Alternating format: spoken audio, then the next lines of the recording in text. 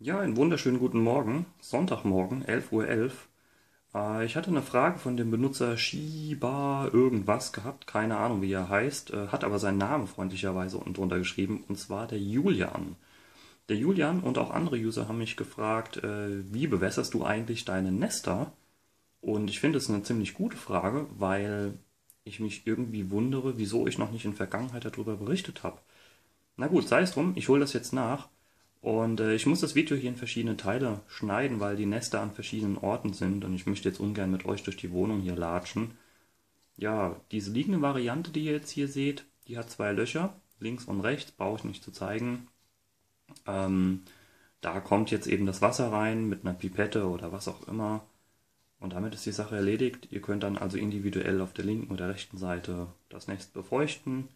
Gerade für Arten wie äh, die Messoren ist das eben ganz toll, weil ich dann halt eben sagen kann, in einem Bereich habe ich einen, in dem Nest habe ich einen trockenen und einen feuchten Bereich. Ja. Ansonsten, ich gehe jetzt direkt zum nächsten Nest und mache einen kurzen Cut. Bis gleich.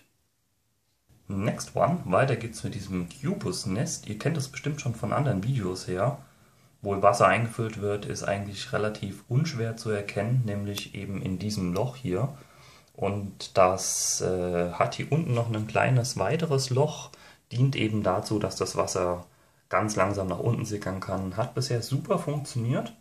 Finde ich eine einfache Lösung und äh, ja, wie gesagt, passt einfach wunderbar. Jetzt sind wir hier bei der liegenden Variante. Das kennt ihr bestimmt auch aus vielen meiner Videos.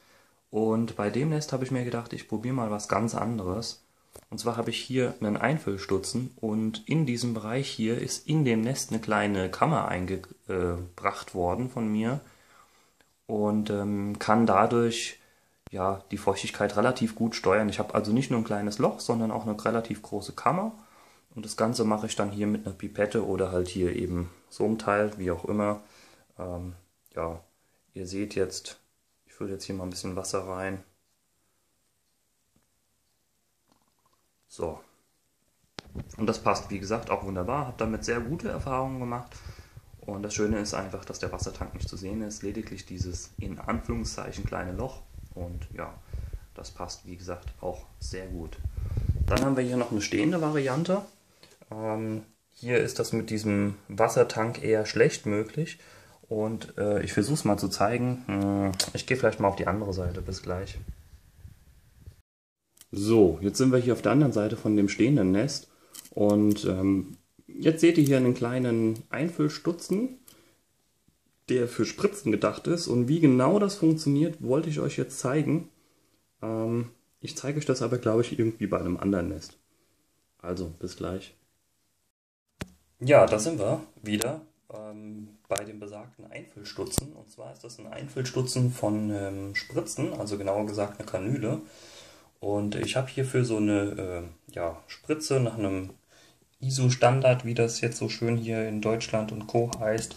Äh, ich versuche das jetzt mal hier so ein bisschen frei raus aus der Kamera irgendwie zu zeigen. Jedenfalls setze ich das Ding nicht nur auf wie eine normale Spritze, sondern drehe das auch zweimal auf.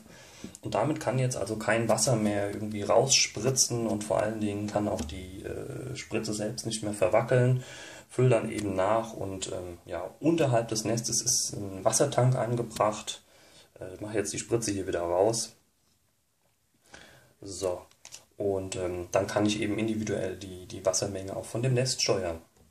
Ja, jetzt habt ihr im Grunde genommen alle Arten von meiner Bewässerung gesehen. Ich hoffe, euch äh, hat das ein bisschen Einblick hier in, in meine Nestvarianten gebracht und äh, bei Fragen meldet euch doch einfach. Also, macht's gut, bis dahin. Ciao.